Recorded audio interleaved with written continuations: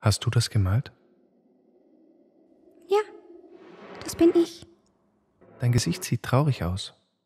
Kannst du mir was dazu sagen? Es weint. Diese Punkte sind Tränen. Ich möchte heute noch einmal über die Messer mit dir reden. Erzählst du mir von den Messern? Wo hast du sie her? Aus der Schublade. Und woher noch? Erinnerst du dich?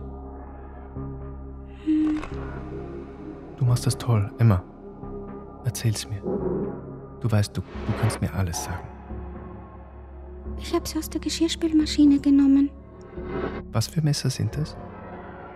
Hm, so glänzende. Große.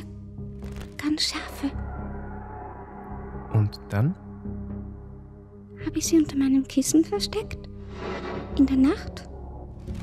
Aber wozu brauchst du denn Messer unter deinem Kissen? Weil sie mich beschützen müssen, wenn ich schlafe. Und vor wem? Vor Papa. Was tut denn dein Papa? Wenn er zu viel trinkt, tut er der Mama und mir immer weh.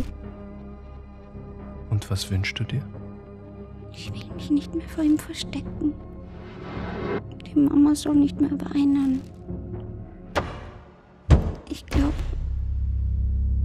es ist viel schöner, ohne ihn zu sein.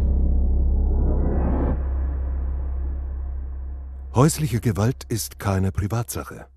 Schau nicht weg. Es gibt keine Rechtfertigung für Gewalt. Kuratorium Sicheres Österreich